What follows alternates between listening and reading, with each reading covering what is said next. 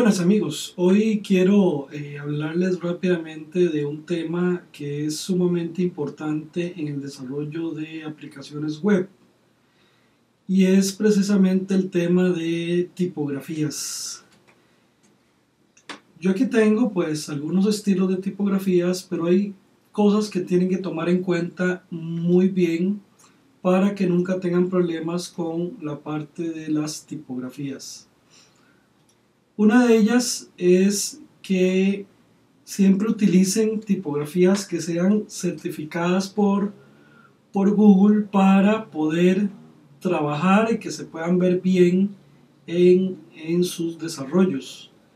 Es importante que, las, que estas tipografías eh, eh, no tengan algún tipo de copyright y que sean eh, de uso libre para el desarrollo.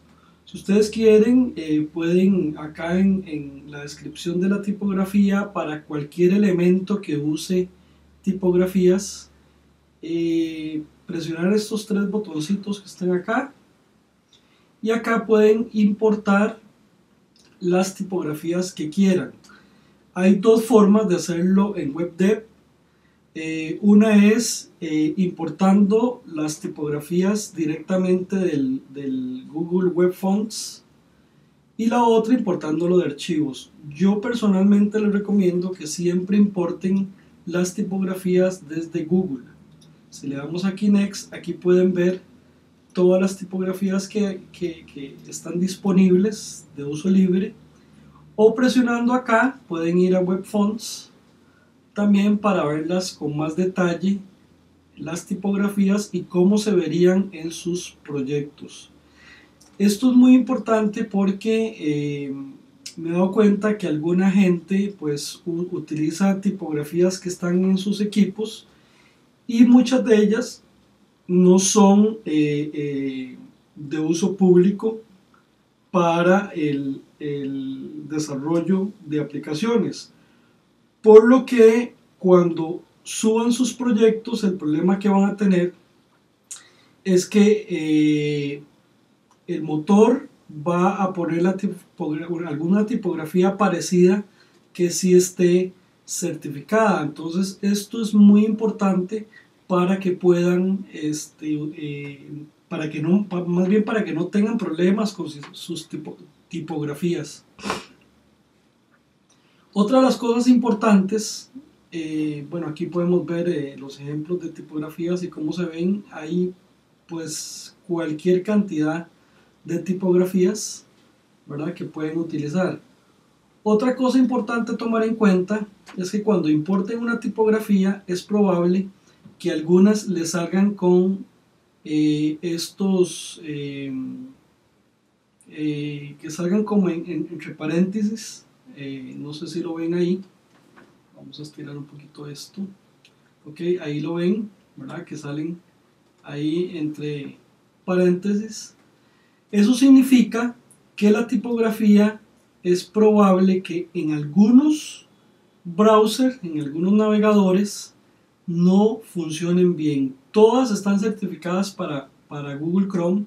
Sin embargo cuando salen esas comillas significa que en algunos navegadores pues no se va a ver de igual forma la tipografía para que lo tomen en cuenta. Eso es muy importante. Por ejemplo, eh, esta, la Tilium, eh, es una tipografía que yo utilizo en algunos proyectos. Sin embargo, la que más uso es la, la que es una tipografía que está certificada para todos los navegadores existentes entonces como ven sale sin problema.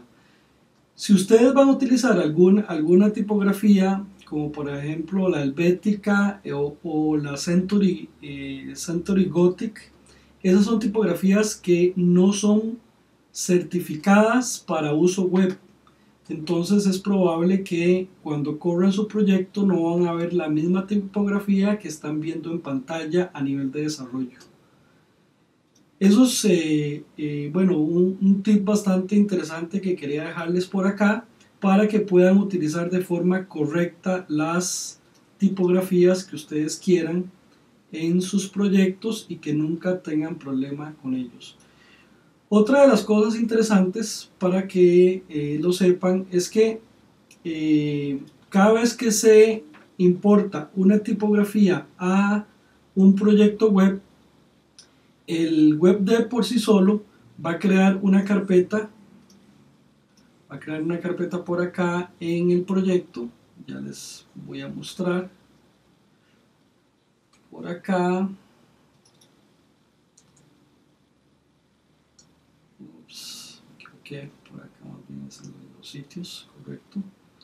Okay, acá va a crear una, una, una carpeta que es donde están todos eh, sus tipografías en, el, en, el, en la carpeta web, en los estilos, va a cargar acá las tipografías que están siendo utilizadas. En algunos casos, vean que yo acá instalé de forma forzada la Century Gothic ¿verdad? Pero esto no significa que les va a funcionar en el proyecto. Si ustedes definitivamente quieren utilizar alguna tipografía de su gusto, lo que tienen que hacer para que funcione correctamente es incluir esa tipografía en el servidor donde esté el, el proyecto. Sin embargo, no es, por supuesto, lo más recomendable. Siempre lo mejor es dejar que la herramienta haga estas carpetas que están acá con las tipografías que quieren este, utilizar en el proyecto, ya que automáticamente se van a instalar en el servidor una vez que se haga el deploy del proyecto y que no tengan ningún problema para utilizarlas. Eso es todo por ahora amigos, eh, les recuerdo, eh, estos temas van a ampliarse en informaciones eh, pronto. Los dejo por ahora. Muchas gracias.